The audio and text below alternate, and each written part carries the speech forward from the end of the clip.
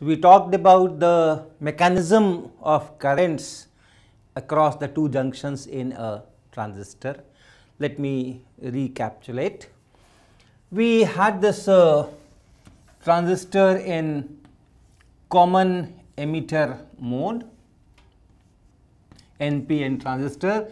I am talking in terms of NPN transistor, but I have repeatedly told that you can use the same language, the same story with PNP transistor. All the arrows are to be inverted and the battery terminals are to be inverted and electron becomes hole, hole becomes uh, electron in that description.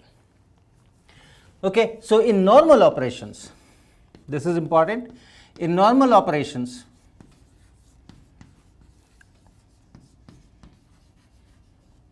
this uh, base emitter junction, this is forward biased.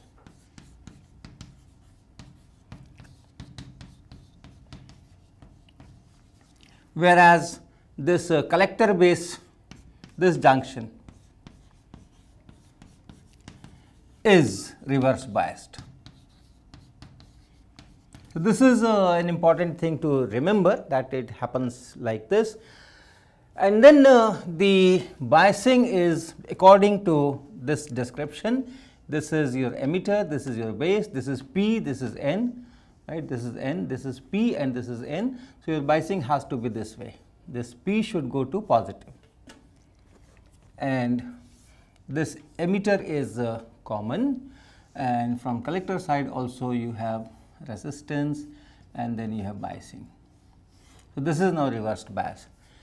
So, what happens because of this forward bias lot of electrons are injected from the emitter into the base because this is heavy, heavily doped. So, because of that large concentration you have uh, this carrier injection is also large and those things go here and this reverse bias this reverse bias junction that draws those electrons because that is a minority carrier here and reverse bias attracts minority carriers and so a lot of electrons uh, from this go through this collector circuit and some small fraction goes through this and that corresponds to the recombination of holes electrons once these electrons find themselves in this p region. So, this was the mechanism and under that you understand that IC is less than but close to this IE.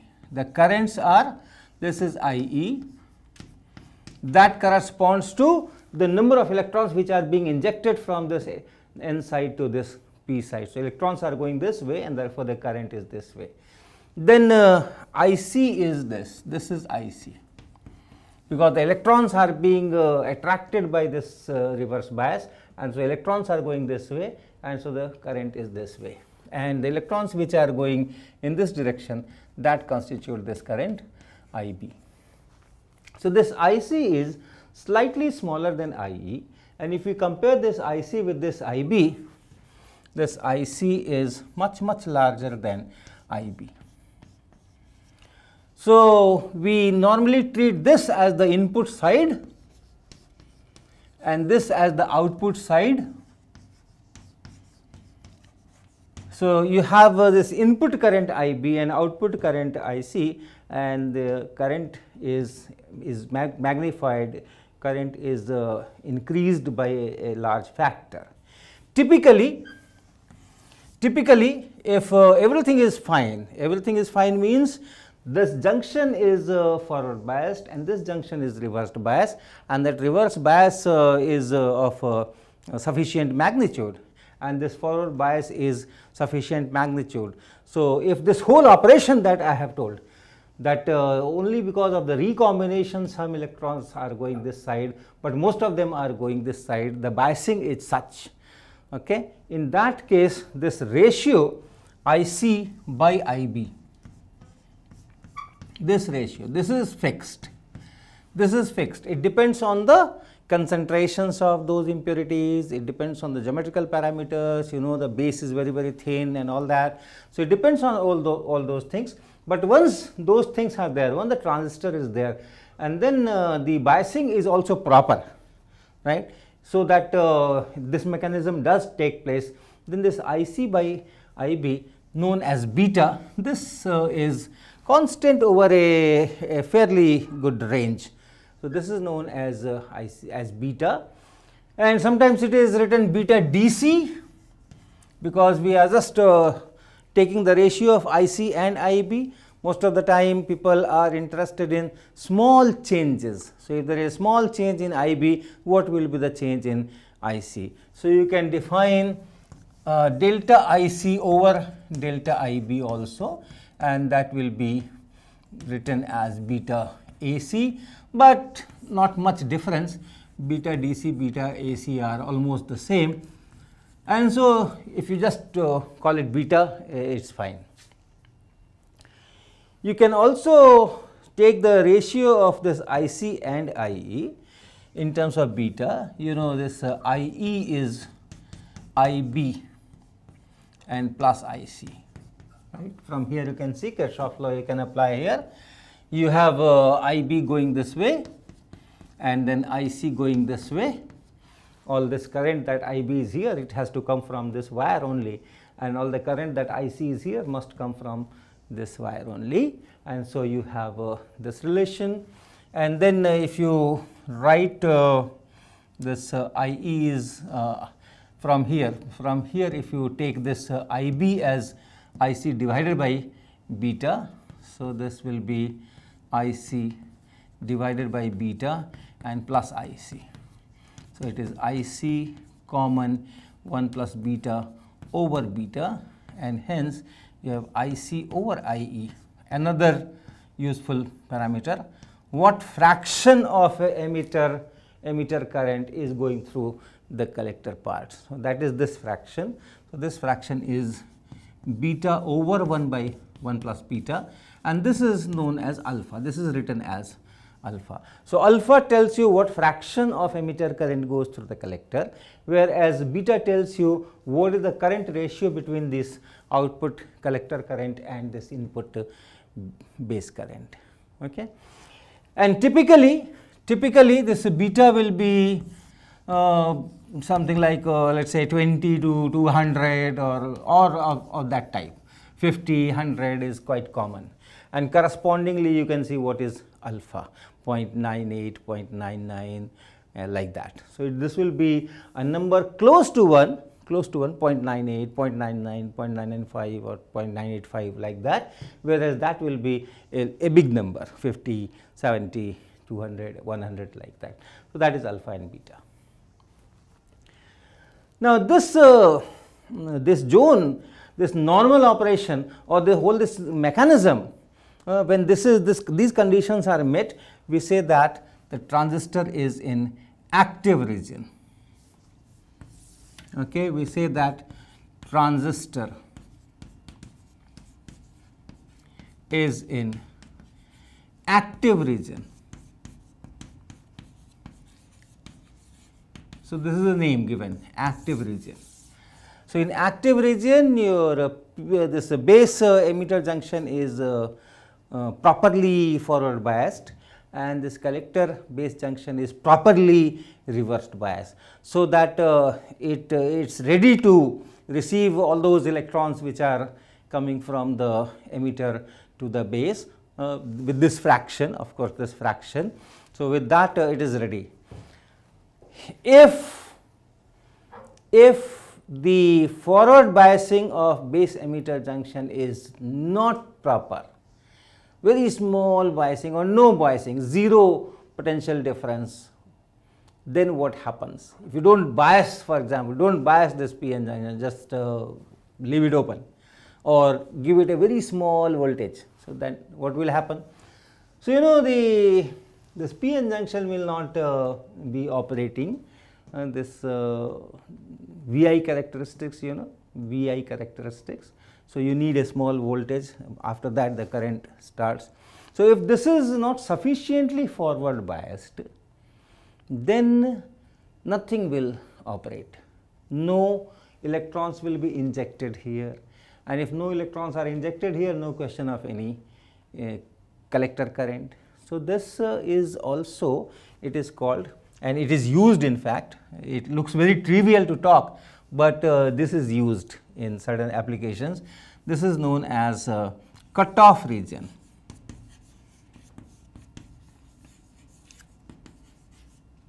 Okay. So, cutoff region means no current, IC is 0 and here IC is beta times IB. And there is one more important region and that is when the base emitter junction is forward biased properly. So, you do have a, a, large number of electrons going into the base correspondingly there is an IB. But the collector base junction is not sufficiently reversed bias. Okay. If uh, you apply some say 5 volts, 10 volts, 8 volts at this collector base junction good. So, whatever electrons are coming correspondingly that alpha factor is there. So, that alpha times uh, those are drawn into the collector. But what if the biasing of this collector base junction is, is very small, is weakened. We apply a a small VCC here, this is VCC remember, this is VCC. So, if there is a current here, you have VCC, there is a drop, voltage drop here. So, finally, the voltage from here to here may be, this voltage may be small, right. If uh, you have a good amount of IB and suppose beta times IB is IC, so that much current is going from here. So, you do have a potential drop here. So, the potential between this C and E VCE that will be VCC here and minus this if you call it RL minus RL times IC. So, at a certain in, in certain situations it may so happen that uh, the this current IC is large and this drop VCE is small because of this and if this VCE is small remember you also have a drop here. So, your uh, this PN junction this base collector junction has to be reversed bias. So, it should be more than this voltage and this voltage is more than this voltage and therefore, uh, this difference should be this one and plus this reverse bias. So, if uh, this VCE becomes small then this base collector junction may be hardly reversed bias or zero bias or in certain conditions may be forward biased. In that case this mechanism will not work and then uh, this uh, beta times IB, IC equal to beta times IB, this relation, this relation here, this relation, this will not hold because the collector does not have capability of drawing these many electrons right. These many electrons it cannot draw and therefore, uh, we say that it is saturated. The transistor is saturated. The collector efficiency of drawing electrons from the base in the case of NPN transistor it's saturated it cannot draw anymore. If you increase IB proportionately IC will not increase because the collector is not ready to receive all those electrons, draw all these electrons. So, if that happens that is known as saturation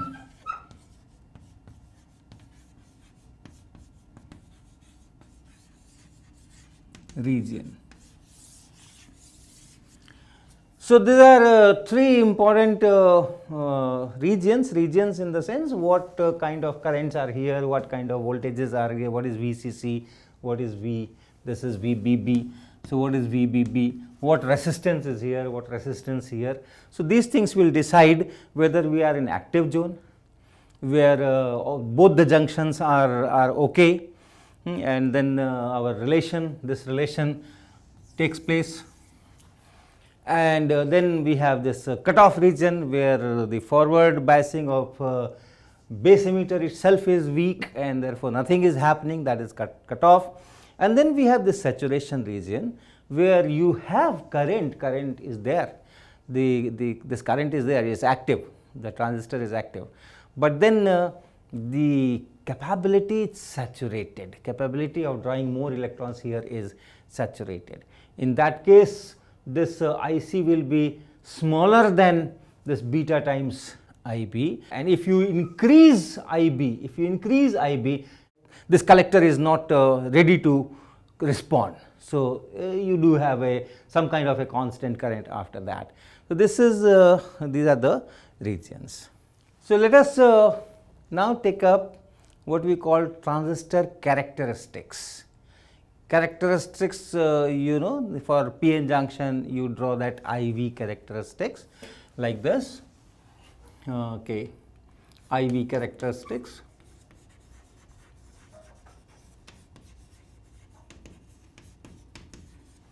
for PN junction, just one P, single PN junction, if this is I and this is V. What V? Which V? If you have a PN junction, forward bias, and we apply a V here. So, which V I am plotting here? It is the potential difference across the PN junction, not this V right not the battery voltage that we are applying not that VCC VBB not that across the junction. So, if uh, if this is V and this is I in forward bias this kind of characteristic is is shown in in the case of PN junction. For uh, transistor circuit also here I have two PN junctions and therefore two junction voltages and two currents. So, there are, there are various combinations possible. In PN junction there was only just one combination V and I. So, if I have this transistor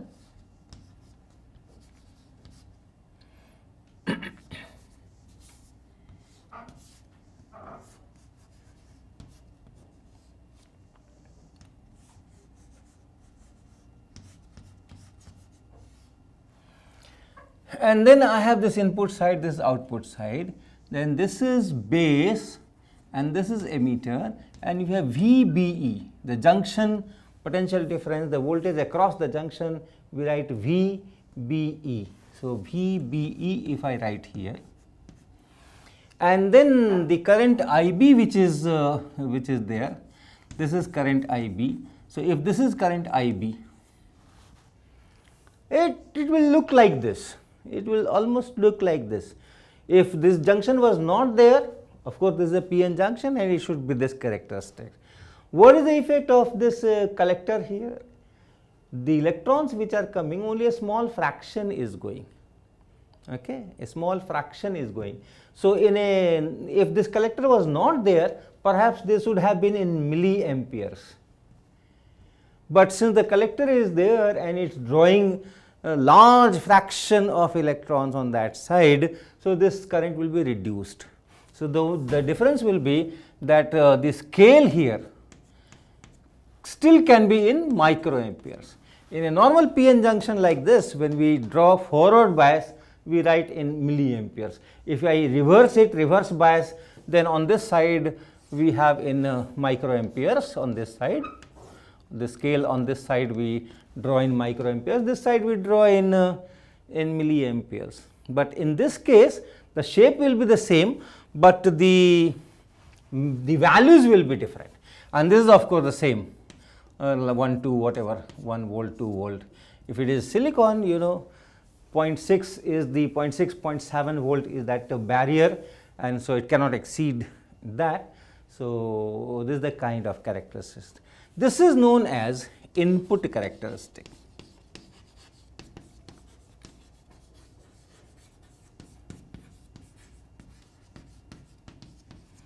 This is known as input characteristics because this whole side is called input side and IB is uh, the current on the input side, VB is the potential difference on this input side. So, this characteristic is known as the input characteristic you also have output characteristics. And what will be that?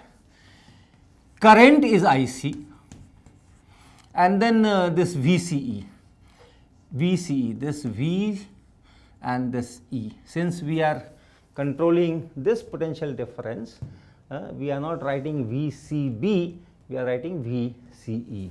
So, So, if you draw curves of this IC collector current and uh, here you have uh, VCE. By the way, in this uh, particular case, VCE constant. So, this is constant and for that uh, you may have to adjust this VCC because if current is changing then this drop is changing and if you want to keep this uh, VCE constant you have to adjust this VCC here here. If the output characteristic IB is kept constant for one particular curve there will be one IB and to keep the, this IB same we are now changing this VCE. So, uh, maybe we will have to readjust this VBB, but not really much.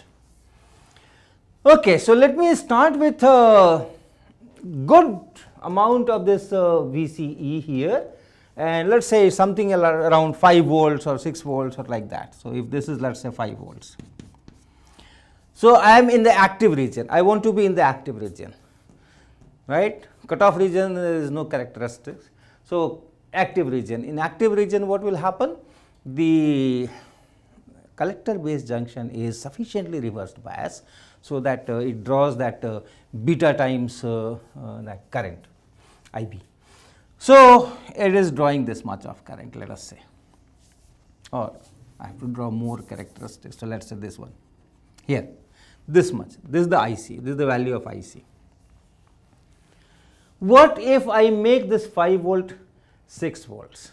If I increase this uh, biasing here, so that this VCE increases, so it is more reversed bias, what will happen to the current? Since I said that is already in the in the right region, is not in saturation like that. So, it is drawing maximum number of electrons that it is supposed to do for a given IB. For a given IB, uh, suppose beta times uh, IB should be IC and it is doing that. That means all the electrons which are being injected here, right, that fraction beta is taken up by the collector and it is reverse bias, sufficiently reverse bias. If you increase more, nothing will happen because it's, it's drawing the maximum of, of electrons for which this is, is made. So, just like in reverse bias in uh, this junction single PN junction also in reverse bias the current does not change unless you come to the breakdown as you increase that reverse biasing. Why? Because you have uh, that potential slide and then uh, the electrons which are here they are taken up in this side by the electric field. So, whether the it is this much or it is this much does not matter does not matter. So, the current only depends on how many electrons are available for uh, this drift uh, in accordance with the electric field. So, that decides the current. Similarly, here if I increase the reverse bias it is already drawing whatever is available and therefore, not much uh, will change and this will be almost a flat line on this side.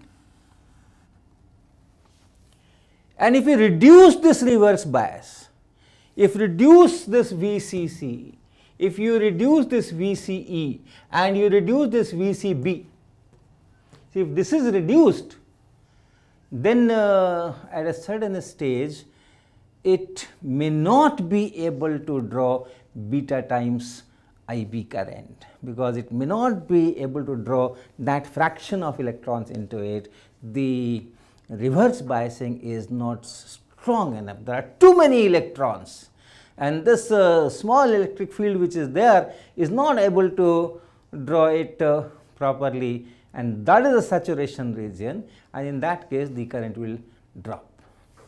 So, in that case the current will drop. If uh, VCE is 0, suppose VCE is 0, suppose this is forward bias fine it is going here electrons are being injected here, but suppose this is 0 what will happen? If this is 0 VCE is 0 then VCB will be positive forward biased because remember this P, this is N and this is P and this is N and this junction is forward biased. So, with respect to this it is at a positive voltage.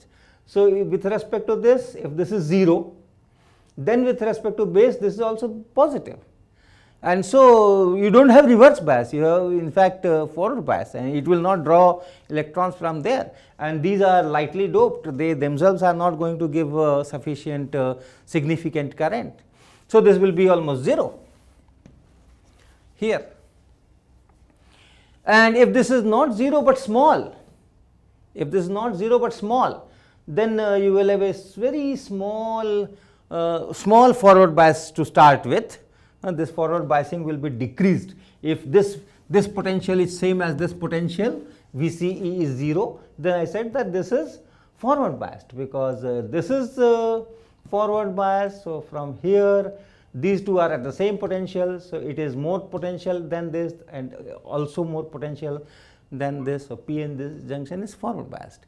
If you slightly increase this VCE then the forward biasing will be reduced and uh, at some point 1 volt 0.2 volt this will become 0 and after that it will become reverse bias slightly reverse bias and then the reverse bias will increase.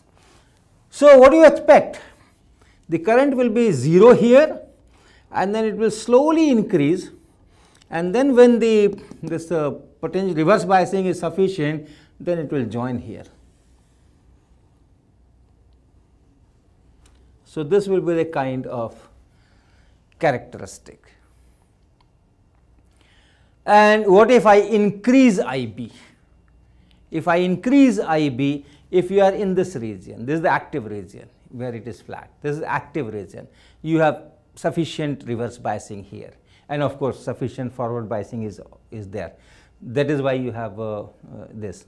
So, if you go for a higher IB, then this side will be all right since it is at 5 volt it is ready to accept even more electrons. So, that same fraction beta will be maintained and you will have a current like this. And once again now you have a larger current.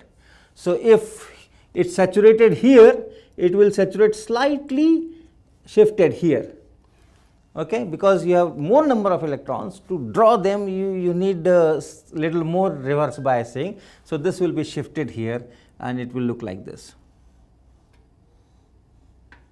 It will look like this. If you further increase IB, it will go like this.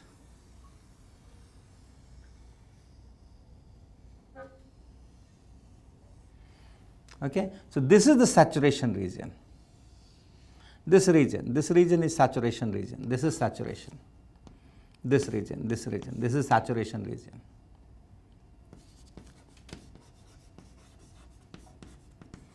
This region, this region is saturation region.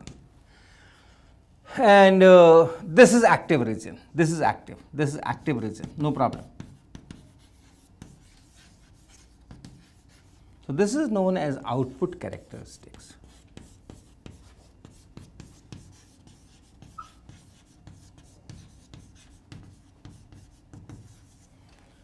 VCE output side voltage on output side and IC current on output side. So, this is known as output characteristics. You have uh, you can have more characteristics. You can take one parameter from input side, another parameter from output side and then draw the curve.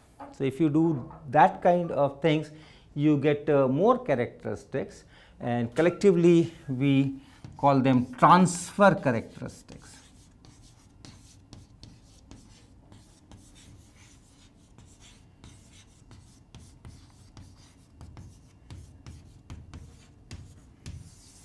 There may be many many combinations, we will perhaps uh, talk uh, one of the transfer characteristics in the next lectures and then we will go for some applications.